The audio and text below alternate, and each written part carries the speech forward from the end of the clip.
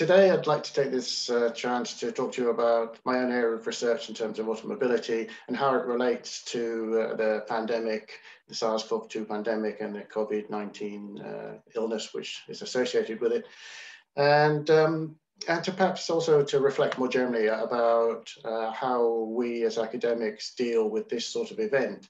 And uh, I think one of the interesting things for me that's already come out of, of this situation is that uh, social science has a lot to say about uh, what is apparently uh, more of a hard science event. Uh, and we have a lot to contribute. and I hope that this uh, discussion around automobility is something of an illustration of the sort of things that we can think about, do and participate in uh, to help societies and to help uh, everybody to, to deal with the whole pandemic situation. Um, my background is uh, very much in, involved in the automotive industry. I should say um, quite clearly at the start, uh, I'm not an apologist for the industry. Uh, I'm not a lobbyist for the industry, um, but I'm someone who's spent more than 30 years now um, researching looking at how this industry works, particularly from uh, the aspect of sustainability, um, but also in terms of things like strategy, uh, economic structure, government policy, regulation, uh, and many other aspects, uh, which collectively define what automobility is. Uh, so today I'm going to talk around um, this theoretical framework of socio-technical systems, um, which I expect many of you will know, some of you may not. Uh, I'm not going to spend too much time on, on the detail of that research, but I'll sketch out how it works um, and how it applies in my particular area of, of, work in terms of the automotive industry. And then I'm going to think a bit about um, what's happened with the arrival of this pandemic and, and how in my area of research in automobility, um, that's changed that world in, in all sorts of important ways and, and what's likely or possible to emerge in the future. So it's partly about how we think about this, this issue, and it's partly about how we apply that thinking to a specific case, um, which could also be applied in others. I'm, for example, you know, I'm currently working with uh, a small team where one of the other guys is, is involved in food, food research, and, and, food issues.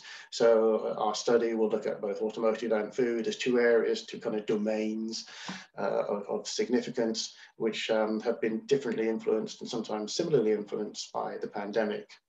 And um, just as a little head, heads up about that, uh, one of the kind of similar findings is that there's been a, something of a back to the future moment uh, wherein people have rediscovered life in the 1950s, more or less, um, which is to say, you know, we, we've rediscovered that you don't have to drive everywhere. We've rediscovered that you can make your own dinner, you can cook your own food.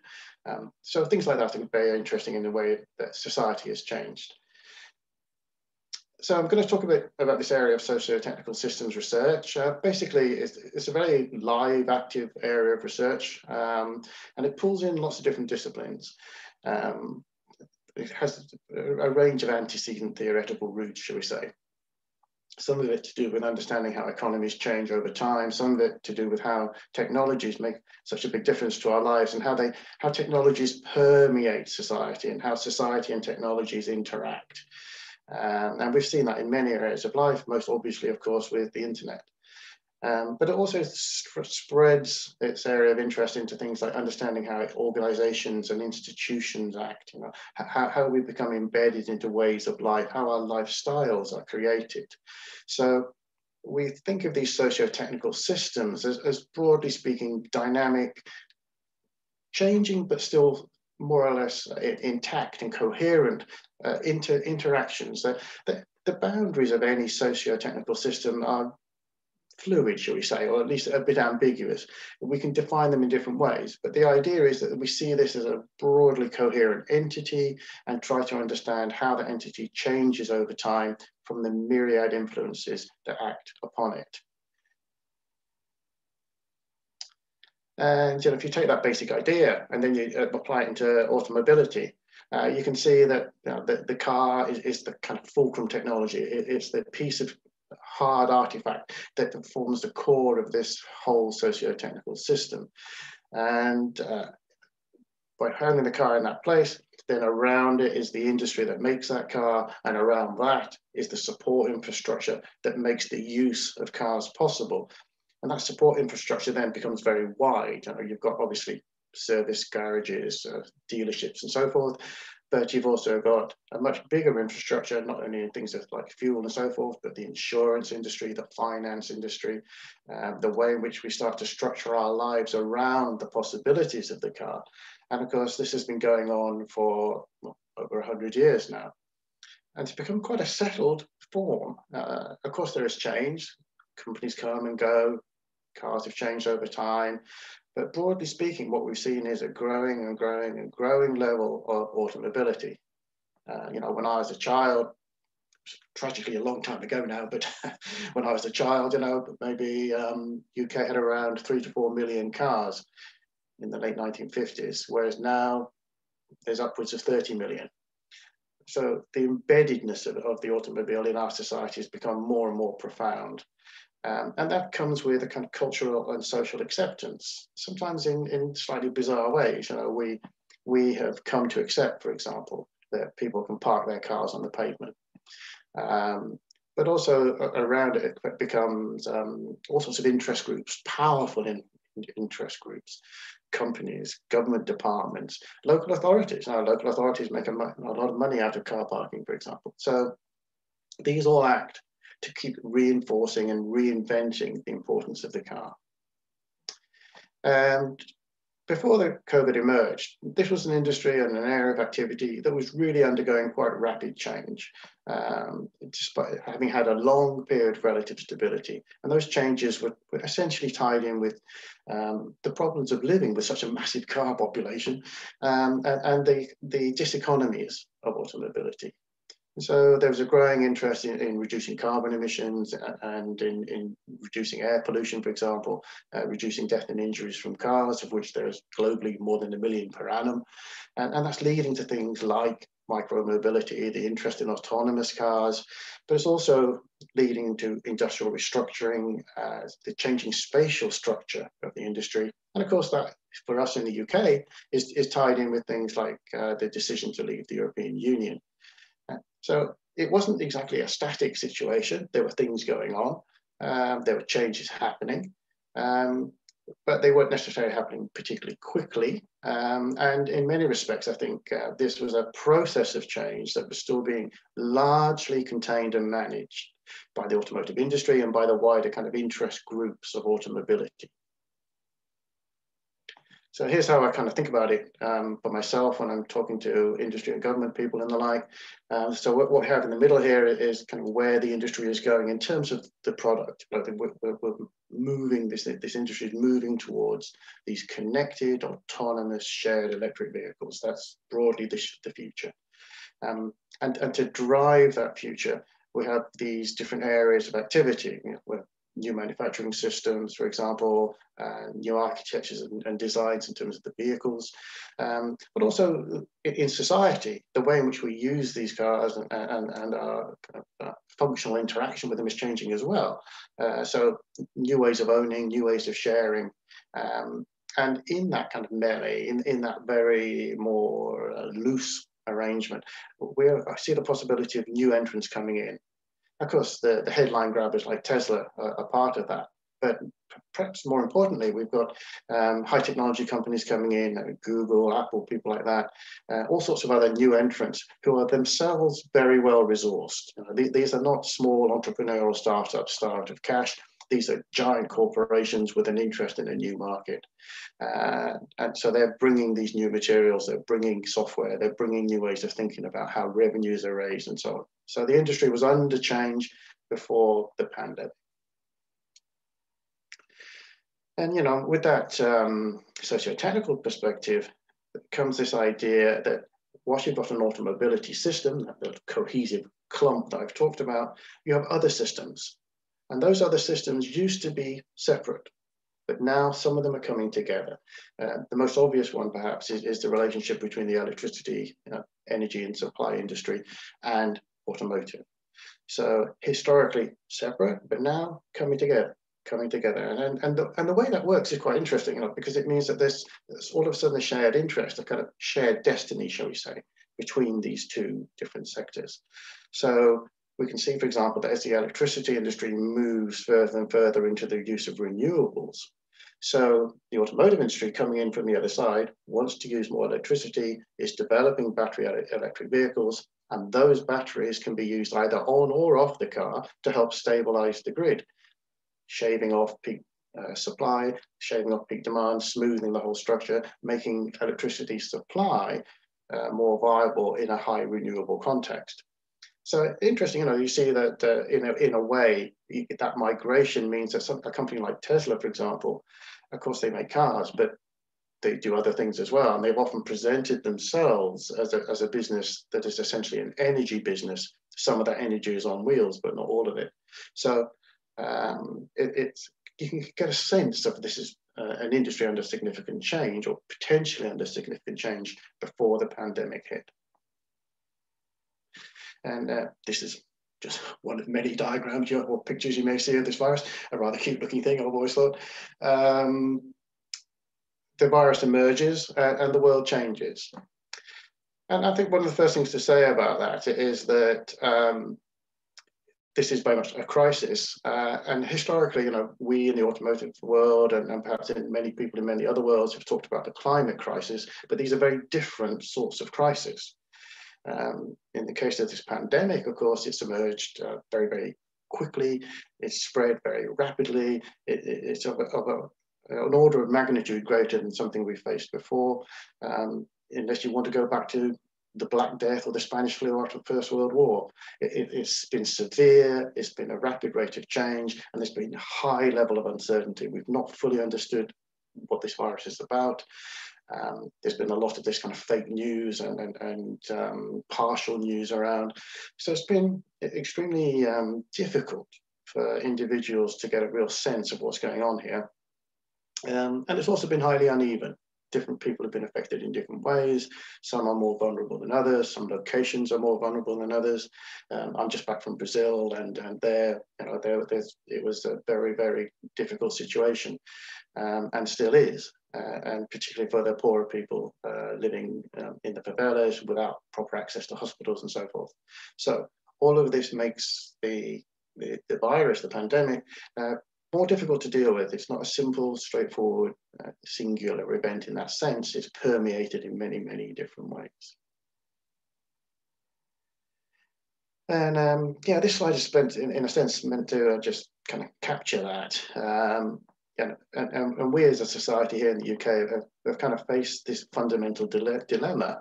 Um, how far can we continue to go out and enjoy our lives as we have been? Or how far do we have to make significant changes, particularly around the importance of um, areas like, like children's schooling? You know, can we sacrifice one area in order to attain another? Um, and that's led to this really kind of chaotic policy environment. And it's not just here. Uh, I mean, you know, we're not fantastic, we're, we're not the worst, uh, but it's been a very chaotic policy environment. And, and so the things that we've been allowed to do or not allowed to do have changed. Uh, you know, the, the, the, boundaries of one type of regime or another have changed. And there's been sudden direction changes in terms of policy. Um, and, and, and that's made life very difficult for everybody individually, but it's also meant that uh, at a more kind of macro level, there's a high level of uncertainty, and that permeates into all aspects of life. And in my case, for example, looking at what's happened to transport and mobility, there's been this rather confusing picture. First of all, everyone's told to stay away and stay home and not go to work, protect the NHS, don't use public transport. Then couple of months later, please come back, please get on that public transport, please use those offices, please go and buy a sandwich in Pret a Manger. Then after a couple of weeks of that, sudden reversal again. Go away, don't use public transport, don't worry about eating out, etc., etc. So that, that makes for a very um, confusing situation, but it impacts, it makes an impact on the viability of our mobility choices. And of course, it echoes into uh, the world of automobility and its relationship with other travel modes. So uh, I think, um, you know, when, we reflect on this and, and, we try to understand this in real time, I think many academics find this a challenge, you know, particularly the real time element. Uh, essentially, a lot of academic research, uh, in effect, is historical. You know, we, we look we, we collect data, we reflect upon it, and we write about it, and then we report it. Um, this has been different because we, we've had to gather data as it occurs, more or less. We've got to we've got to we've got to be quicker. We've got to move with the changing context. Uh, with previous crises, um, there've been plenty, of course, of varying magnitudes and so on, but I picked out a couple after the First World War and Second World War. Um, you know, we've seen that there have been major social changes. Um, partly deliberate, partly accidental. You know, after the First World War, for example, where, where there's clearly a shortage of manpower, literally manpower, um, and and that forced all sorts of social changes in the structure of uh, agricultural labour forces and so forth, but also meant that David Lloyd George introduced this idea of homes fit for heroes. So there's a fundamental idea, I think it's quite an important one, that we make those social sacrifices, but we expect some sort of comeback later, some sort of uh, response or reward for those sacrifices. Similarly, Beveridge report, middle of the Second World War, anticipating what's going to happen afterwards, and then saying, look, we've got to do something to, to respond to the, the, the deprivations that war has brought. Um, and, and we've got to respond to the fact that in, in that kind of crisis situation, everybody has to muck in. We are much more a society than you know, kind of Thatcherite individuals. Uh, and so I think in that, that idea, we see the emergence of you know, public education, public health, and so on, emerging after 1945. Um, now we don't know what will come out of the situation here. You know, we don't know for sure, but we're beginning to see some interesting signs that there's a willingness to embrace the idea that we, we need to be uh, rewarding society for, for, for the sacrifices we have made, but also interesting enough and perhaps differently, I see signs that we need to do something about rewarding the environment. You know that that we've um, we've the pandemic gave us an opportunity to see how our actions were quite clearly affecting the environment, and perhaps it's given people a stronger sense of the need to make changes to protect our broader environment. So I, have been kind of thinking about some of these issues anyway, um, ahead of the pandemic hitting. And um, quite early on, uh, put together a paper with some colleagues from the business school, uh, thinking about well, how are we going to kind of frame this? How are we going to think about this, particularly in, in a kind of socio-technical sense? Um, so what I've done here is have a, a very broad-based based, uh, sense of the kind of responses that could happen at a kind of national level. Uh, and, and I've distinguished between having uh, kind of strong or weak markets and businesses on one side, and then on the other side, strong or weak governance, regulation, and uh, state intervention. Um, and so, of course, this is a, a, somewhat arbitrary framing, but I think it's just a way of trying to capture and highlight the potential differences in outcome depending on which way we try to travel. Um, and if, business was still strong, and businesses generally were still making money, and, and uh, the investment was still strong, and so forth, then the business as usual scenario emerges, and, and um, you know, government is not particularly interventionist; it's just facilitating, and, and that's the kind of return to normal discourse. Uh, I think as time goes by, that's less and less likely. On the other side, we have this idea of managed transition, so here you need to have a, a, pretty robust economy, but at the same time, with strong guidance, then you can look towards creating a world deliberately with very strong intervention in order to achieve almost business as usual, but with a much greener, much more uh, responsible uh, flavor to it. And for me, this kind of managed transition sense is, is really very much what the European Union is trying to achieve in its green growth strategy, which is, of course, predated the, the pandemic, but the pandemic has very much, um, I think, legitimized and, and, strengthened their ability to pursue that route. On the other hand, we've got um, what happens when the economy is weak and you know business is collapsing and, and markets are collapsing and inflation is running, there's austerity and so forth.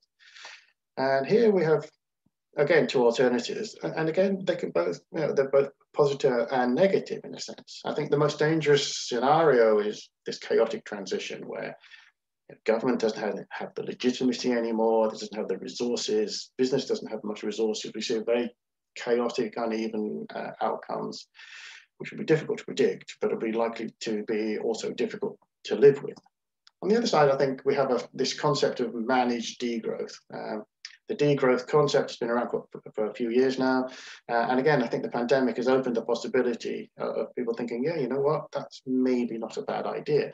And interestingly enough, you know, the, the, the Commissioner for Future Generations here in Wales has started talking about the need to reduce the working week um, as a response to the current conditions. And in a way, that's the starting point of managed degrowth. So it's not so fanciful as would uh, first perhaps appear. So what do we have? Um, so then I'm starting thinking, you know, we've got this kind of big picture of the possible outcomes, and how does that really work in, in terms of the transitions? Well, here I've got a diagram which attempts to kind of capture some of that. We've got on the left-hand side of the diagram, um, the existing socio-technical system just moving along, and then it hits this crisis. Now, I, in most cases, and I think definitely the case in automotive, pretty certain it's the case in food, probably in others, there was a collection of potential new ways of doing things. They've been there. They're, they're, they're small, they're kind of in, in the background, they're not a dominant part of the picture, but they've been there. They're part of that picture. Um, just in a sense, sort of like seeds in the ground waiting to come out. There's also been a whole bunch of people interested in, in redefining what automobility is about in my world, in other worlds, redefining other areas of activity. Again, waiting in the wings, waiting for that opportunity almost. Um, and we've got those other socio-technical systems coming in. So you have this kind of crisis event. And then what happens? Well, many things start to happen. Um, I, I, kind of just listed a few that, that could act to kind of destabilize this structure. The structure starts to break up because of these new pressures, because of the collapse in markets, because of the emergence of alternatives. Um, and that creates a much more fluid and dynamic situation. So, you know, in, in the world of mobility, uh, we saw straight away. You know, I mean, one of the key elements of this was that mobility was absolutely fundamental to the spread of this virus. And then equally, restricting mobility was fundamental to trying to contain it. So the spotlight in that sense very quickly came on this issue of how we travel, why we travel, what are the consequences of us travel. Um, and in some cases between the US, as you're probably aware, you know, this, this was an overt conflict. This is uh, between freedom and restriction, freedom of movement, was freedom of, of mobility was very, seen, very much seen as a fundamental right uh, individual right, of course, against the interests of society as a whole, which might have been about restricting that movement and, and containing it in the interests of society. So we see that rapidly these things become part of the political debate. Uh, in, the, in the US, symbolized, of course, by, by mask wearing or not. Um, but something that we haven't talked much about, I think, in the West is how successful China was in controlling its own pandemic situation. Um, given to uh, given that, uh, of course, they were there to, experience the first emergence of the pandemic and, and had very little to go on.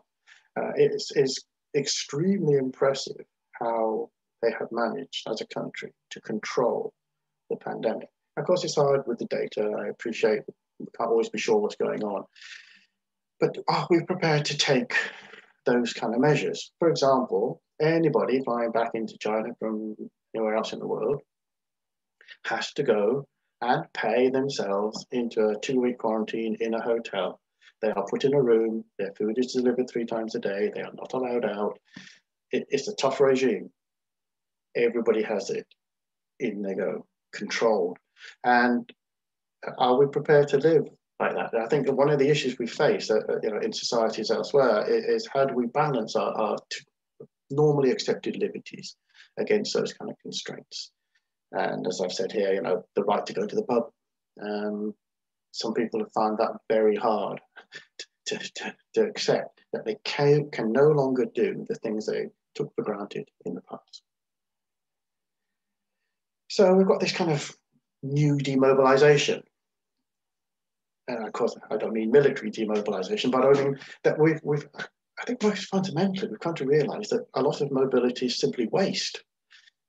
We, it's a waste of time, it's a waste of resources, it's a waste of money, uh, it's, it's, a waste of your life. You know, you, are spending hours every day sat in a train or a bus or a car, it's just waste. And we've, I think many people have begun to appreciate getting the time back, apart from anything else, from working at home. Of course, there's been many issues.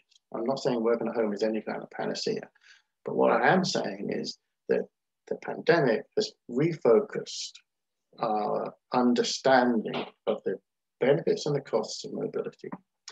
Um, and so that means that, that we've also come to realize that we've kind of turned the equation on its head so that instead of mobility being a means to an end, it becomes the end to the means. It becomes the, the, the, the most important thing to be doing simply because it props up the rest of the economy. Uh, and we've come to realize that perhaps that's not the right equation. So instead of linking transport policy with economic policy, we should, and perhaps we are beginning to start to link transport policy with health policy. Of course, for the car industry, actually this hasn't been all bad because the problems with the public transport sector and, and the unwillingness of individuals to risk that trip has meant that actually um, the ownership and use of a car has been quite become quite a useful thing. And, and there, the car is a defensive mechanism. It, it protects you, your individual, and your family, your your friends. You know, it protects you from the great unwashed out there, the the the, the, the risky society that we live in. So I just want to capture a few of the kind of ups and downs of the politics of this. Um, and, and, I've got a couple of kind of position statements from some leading protagonists on each side of the equation, but particularly I wanted to highlight uh, how that relates to the kind of socio-technical aspects. And, and so ACEA is the industry body that represents the automotive industry um, in the European Union and the wider Europe, in fact, uh, but they're mainly a lobbying entity to deal with Brussels. Um, and so they're very much concerned about the need to resist any significant change. he's talking about concrete measures to avoid irreversible and fundamental damage. Now, this is interesting because, of course, the longer the time period extends, the more likely that is as an outcome. Um, and then the second side of that equation is, is the old argument that by reinvesting in the automotive industry and automobility, it will pull the rest of the economy forward. So this is very much privileging the economy over other issues and very much saying the, the automotive sector is a lead pillar in the, in, in, the world economy and it will pull change forward. Similarly, this is the UK, um, uh, the SMMT is the Society of Motor Manufacturers and Traders. It represents the UK industry, both manufacturing and retail. Um, so they're asking for this package of support um, to keep the industry going in the UK. Um, and they're again saying that they're, they're, the future should be built on this platform of the automotive industry. Uh, on the other hand, we've got uh, Julia Poliscanova here. She's from a, a, lobbying entity on the other side of this equation, T&E, uh, who are basically interested in uh, environmental aspects of the automotive industry and improving sustainability performance. So she's in a slightly more ambiguous position. She's sort of saying, well, you know, we, we've, we've got to keep people employed, but we must not let slip our current environmental targets for the industry. So this is a, a sort of slightly more balanced view. ACEA had been arguing for the dismantling of many of that kind of regulation, removing carbon targets, for example. They're saying keep the targets, let's find a way through. And uh, even Boris Johnson, uh, arguing for this idea of, of recovering uh, health and fitness, um, and very much putting that link, as I suggested, between health and mobility.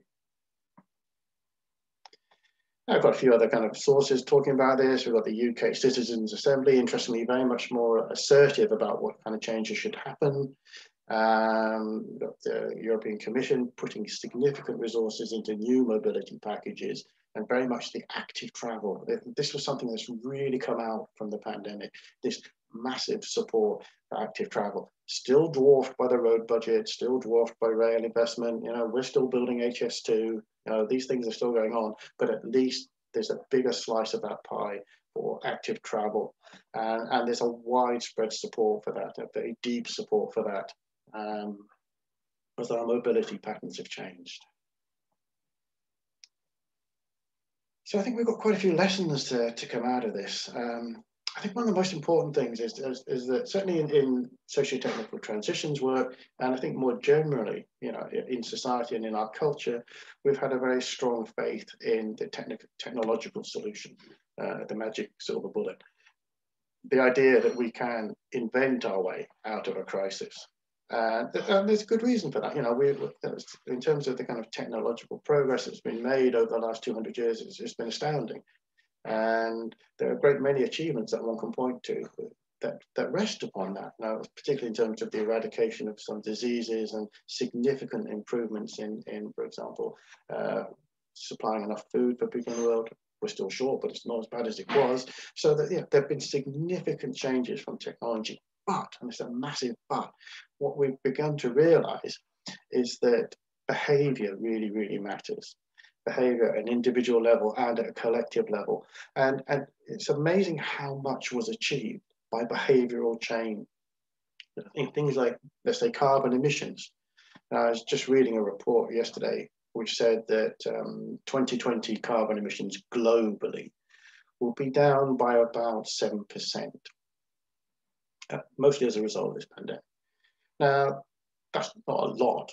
It's actually less um, in one year than we need to achieve every single year up to 2030 if we're going to hit uh, the carbon reduction targets. But it is indicative that it can be done in the old saying, where there's a will, there's a way.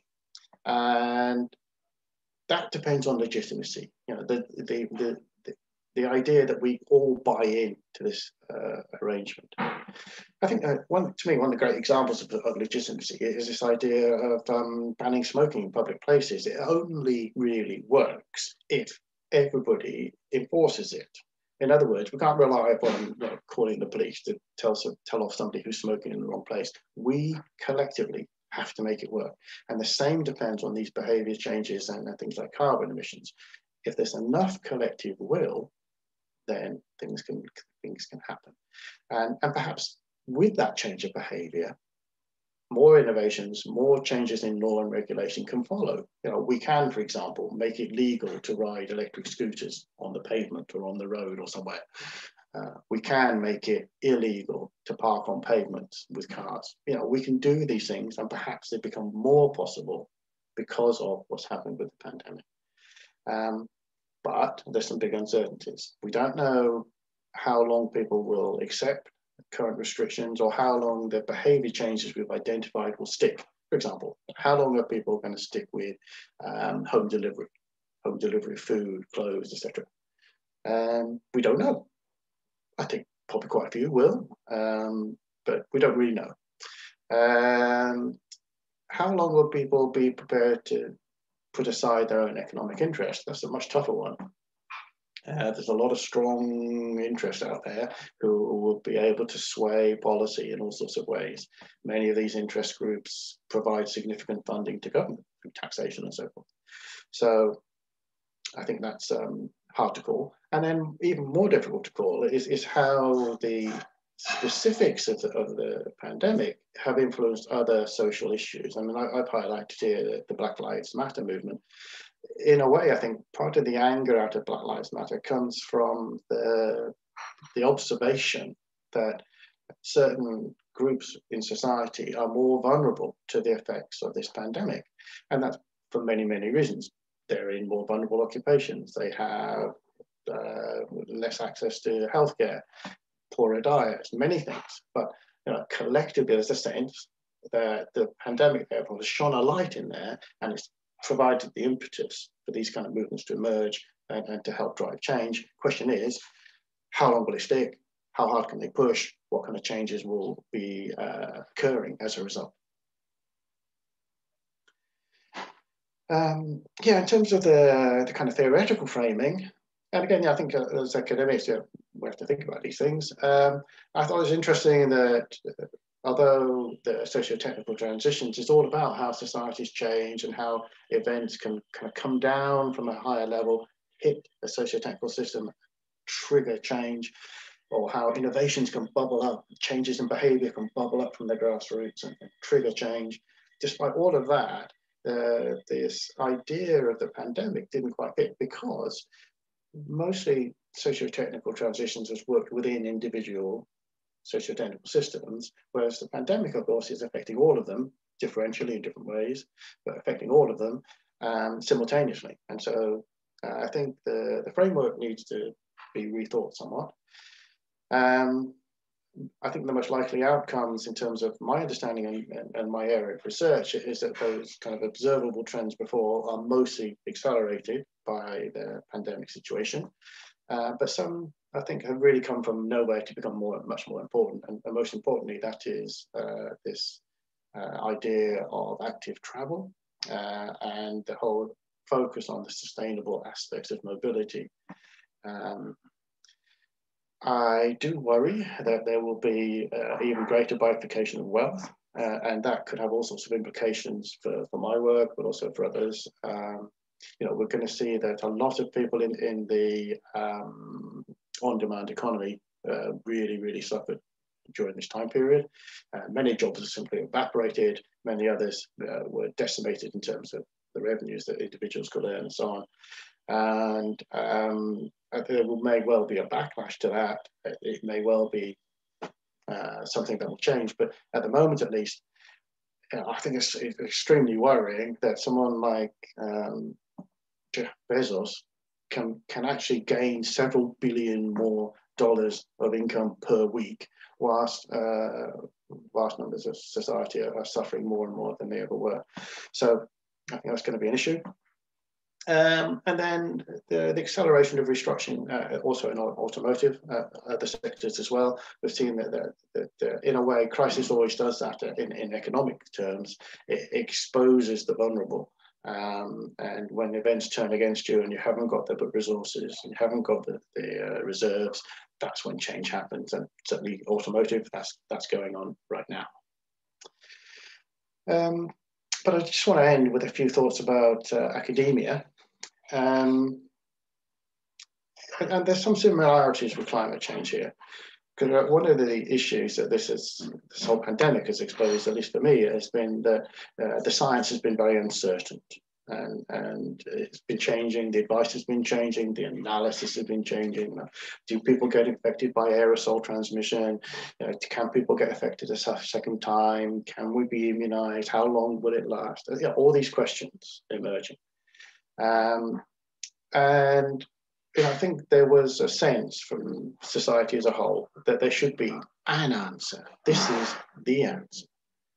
Uh, and, and that's a, a failure to really understand really what science is about, which is really, science is about discovering new answers all the time, maybe uh, taking away some of the previous answers and refuting some arguments, and developing new understandings, new insights, and so on.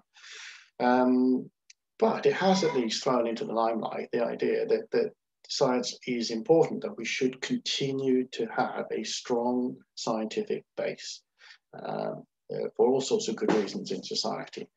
Um, and I think that that also applies to social science. You know, uh, we in the social sciences have a lot to contribute to this, partly because it's been so much wrapped up in things like behavior change, policy change, new regulatory frameworks, uh, new cultural changes, new practices, new social movements, uh, psychological burdens. Uh, you know, many things are going on here where social sciences have a lot to contribute, and it's in a sense our duty to contribute uh, within the context of this uh, crisis. Um, and yet, you know, at the same time, we are also grappling with these issues. Know, here I am talking to you via Zoom, wife in the kitchen having lunch, people in the hedge over there cutting their hedge. You know, it, it's all going on. Um, I'm not going to see my students until June, probably.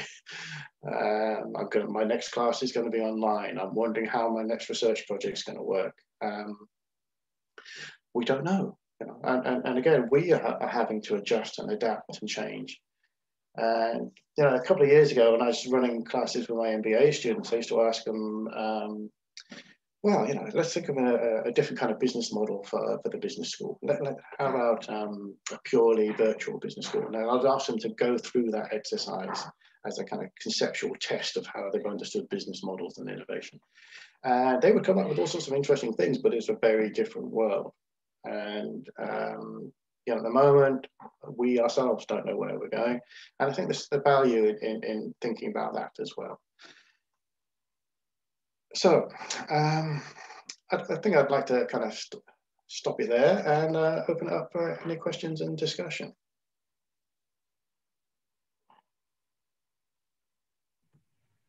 Thanks very much, Peter. That's really, really interesting to lots of things to think about there. Um, got a couple of questions, so I will try and address them in the order they've come in, um, and we'll do our best to, to get through them. Uh, so the first one is, you mentioned non-traditional players entering the electric vehicle market. It's interesting that Dyson has pulled out of the market for developing electric vehicles. Do you have a view on why they have withdrawn? I've never been much of a fan of Dyson, so that doesn't help my neutrality on this equation. Um, yeah, because I think uh, to enter the industry and develop a mainstream car um, is very, very difficult still because uh, it's not just about the technology, it's about branding, it's about economies of scale, distribution network, service network, and so on. If you look at Tesla, uh, it's taken them, what, 17 years about to actually make a profit. And in the meantime, they have burned through billions of dollars. They have had huge resources behind them. Um, it's very different for a company like Dyson. They don't have that depth of resource. If they entered the market in a different way with different products, um, I think it'd be a different story. Uh, there are many interesting new entrants doing different sorts of things there, but where he was trying to come in, I think was a mistake. Thank you, that's great. Um, so the next question is, as mentioned, the market is moving towards shared connected autonomous vehicles. However, can this be possible within our current capitalistic system of growth? i.e. can a shared vehicle market continue to grow or do you see a need for degrowth? Um, yeah, I'm a big fan of degrowth. Um, and in fact, uh, in my recent studies on the shared vehicle market, I've been quite uh, critical because, and here's the thing, where you create those, the delivery of those kind of shared, shared uh, markets, when it's in a market setting, uh, then what you're doing is you're basically segmenting the market more finely. In other words, you're making it more possible for more people to achieve a certain sort of automobility. So what that means in, in, ultimately is you're actually expanding the demand for automobility and the supply of automobility by the drivers who are prepared to provide those services or the companies providing the shared vehicles. So to me, um, sharing in that sense is, is not the answer. Uh, sharing in that sense simply increases the size of the pie. Um, whereas sharing in a degrowth world is much more uh, the answer in a, in a more collaborative, cooperative world uh, and a smaller scale world, then, then we have something to talk about. But right now, uh, I think I'd agree with the implied answer in the question that um, in a capitalist context, uh, vehicle sharing is not contributing a great deal, if anything, to more sustainable mobility. Thank you very much. Okay, so the next question says, describing the impact on the socio-technical system for automobility is helpful. As I understand it, you have suggested this is the case of behavioural change and collective will.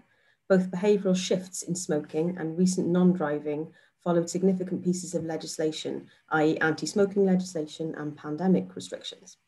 Most behaviour change literature would predict that without these regulatory forces, carbon emissions, number of car journeys, etc., will increase. Indeed, the evidence suggests that this has already occurred, and colleagues in Kuala Lumpur tell me that the dreaded work jams are back and maybe worse than before. How can this socio-technical system approach add to this? Yeah, well, I think um, certainly the, the, regulatory intervention is absolutely necessary because you need to create the structures with, which allow those behavioural changes to solidify, shall we say, or be, become initiated in the first place.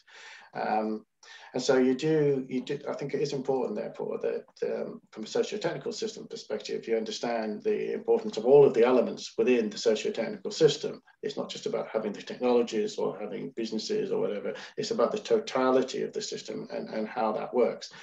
Um, but I would go back to this point, you know, that uh, you know, having been in Brazil sometime recently, you know, you see in Sao Paulo, people will spend two or more hours per day crawling 10 or 15 kilometers to get to work and back. They don't do that for fun.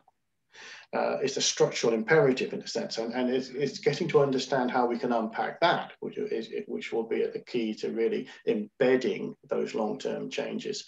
Of course, people got back in their cars and started driving because they, they still had their house there and their work there, and they needed to do something about joining the two up, and they didn't have the alternatives. We need to do more to put structures in place that allow those alternatives to come out. Thank you. Um, the next question says, given, sorry, it's just popped up. There we go. Given strong co-alignment of mobility and the organisation of cities, urban layout, density, work-life dynamics, etc., what are your thoughts on the future of our cities and planning? Well, you know, I think um, we have to be prepared to, to learn from elsewhere. I think that the, the risk is that we, we shall, throw our hands up, oh, can't be done, uh, or people aren't going to do this, or there's, there's, there's, there's no room for change. I think there is plenty of examples that there are plenty of room for change. Um, and we have to understand the interconnectedness of those changes. So um, for me, that means that we, uh, we have to really, really push on making it more difficult to do the things that we don't want and making it much easier to do the things that we do want. Uh, and, and, in a simple way, it's about, for me, it's about localization of life. You know, that, that if you look at the, the, the kind of classic Danish examples like Copenhagen, you can see you can structure a city in a way that makes everyday mobility pretty easy uh, without needing a car. Um, and that's the first simple step. Uh, of course, urban fabrics can be really enduring. I mean, you know, the, in, in some cases, the shape of our cities goes back hundreds of years, but we can adapt those structures to different ways of, of, of uh, organizing our lives, different approaches to mobility and so forth. Um, and, and so I think a reversal of centralization of many activities, um, uh, a willingness to close off and, and, and take away some mobility options and then foster others, also a, an important step. Um, bearing in mind, of course, that some people are not able to do active travel for all sorts of reasons, all sorts of reasons. But equally, 25% of households nearly in the UK do not have access to a car. So let's not get carried away that, that the, the car su supplies the mobility needs of, of uh, people in the UK because it simply doesn't. Thank you very much. Okay, um, next question says, do you believe the current political, economical narrative and systems need to change in order to push the socio-technical transition faster towards a more sustainable society? Isn't there the danger of people going back to normal once this pandemic is uh, over under the current regime? Yes, well, of course, the first question is what is normal? I, I saw an interesting discussion on this um, where if you take obesity in the United States, for example, it is normal. Uh, so going back to normal doesn't necessarily mean going back to a good thing. um, I think also that, um, that, we, we can't just reverse time. You know, although I, I, mentioned briefly life in the 1950s, we can't kind of go back to that. Um, but what you can have is, is, is some sort of aspirational goal. And, and this is where, from a socio-technical systems perspective, this question of time, I think, is very important normally, uh, when people have looked in the past at these kind of socio-technical systems, they've changed really slowly. I mean, the, the, the, the examples of, of, the horse being replaced by the car, uh, this, this unfolds over a century. Well, we haven't got that long. you know, we, we cannot afford for, to wait for decades and decades to pass because the, the pace of global climate change is, is, is staggering. You know, the, the pollution in our cities is unbelievable. Um, I was reading just yesterday how um, young people today, when I say young, I mean like, you know, kids today uh, are measurably less fit than kids of 20 years ago because they spend more time sitting around. And this is shocking. You know, this is a health crisis being kind of created for the future. So um, we absolutely need to focus on the pace of change. I, I, I couldn't agree more. And, and, one of the things we've got to create, therefore, is these clear metrics where we are moving in a direction that we want to move at a rate at which we want to move. What are we going to use to measure those, those processes of improvement. I think that's where we're really struggling at the moment in, in the theory terms and empirical terms and in policy terms as well. How do we know we're going in the right way and how quickly we're going when we don't know what we can measure to show it? Okay, great. Thank you, Peter. The next question says, can you comment on the particular challenges of rural locations, poor public transport, less retail locally, etc.? Uh, yeah, there are some particular challenges, obviously. Um, I, I think there's there's a, a, bunch of issues in there. Uh, I mean, there are trade-offs for a start. Um, and no location, you ever watch those programs on TV, you know, location, location, location. It's all about compromise, right? Uh, and so you're trading off one thing against another. And historically, what we've done is we've traded off the advantage of urban living uh, against the, the the perceived disadvantages of rural life. Um, I, have done both. Uh, they both have their pros and cons. So I think the concerns I have about um, the lack of uh, mobile access and so forth in rural areas is, is much more around um, the, the, the, kind of needs that people might have, for example, to access healthcare, to, to get good education, um, to get to high quality food and so forth. Increasingly, I don't think we have to worry about those things as much. Um, partly that's a technological solution with internet connectivity and so forth. Partly it's about the decentralization of things like power, which is going to get more and more. Um, so uh, that, that's going to help with all sorts of issues, uh, particularly around electric mobility. And partly it's going to be around sharing. And I think you know, in a more collaborative sharing system uh, with shared mobility, we can solve a lot of problems. Um, there is no panacea uh, for, for those kind of issues. But um, I think perhaps they're a bit overstated. Um, and in many respects, uh, we, we, did a study a few years ago uh, looking at electric vehicles in rural areas. And actually, they're better suited to those sort of settings than they are to urban areas um, for all sorts of interesting reasons. So um, I think there's a lot of scope for uh, improving the situation and the setting in those rural areas, and, and perhaps for even reversing uh, urbanization trends to create a more vibrant and, and viable uh, rural setting, which would help in foster those kind of resources that you need, you know, the, the small scale hospitals, the, the, the, local kind of facilities of, of, banks and dentists and God knows what else that, that you might want to access. Okay, that's great. Thank you very much, Peter. I think unless anyone has any more questions for Peter, um, I think we've probably come to the end of them. We have, which is almost perfect timing. So that's fantastic. Um, yeah, thank you very much, Peter. That was really, really interesting. Lots to think well, about. And, lots and uh, thanks for everyone for, for trundling along. Um, it's nice to see you, even if I can't. Um, uh, perhaps one day soon we'll both to do it for real. Yeah. So, oh, um, sorry. Someone's just asked if it'd be possible to um, view the recording later. So yeah, absolutely. Um, aim to get it online within um, roughly a week uh, today. So uh, I will do my very best. Um, but yeah, thank you very much again, Peter. Thank you everyone for joining us. Um, our next webinar will be the 5th of November. Now we're skipping a week next week for half term. So please take a look at the programme and join us if you're interested. Okay. Thank you very much, everyone. Bye-bye.